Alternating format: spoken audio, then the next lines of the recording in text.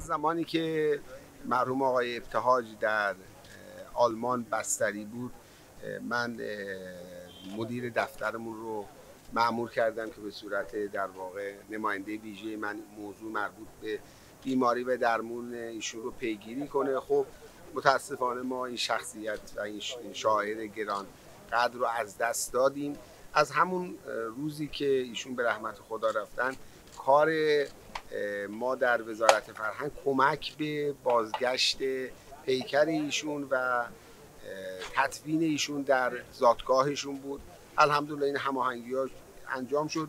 دوچار یک مشکل در واقع درونی بود این موضوع که با دخالتی که در در واقع محاکم قضایی آلمان صورت گرفته طبق خبری که ما در رسانه ها در واقع ملاحظه کردیم. الان دیگه موانش برطرف شده. ما آماده هستیم مقامات محلیمون و استانی گیلان خیلی همکاری خوبی داشتن.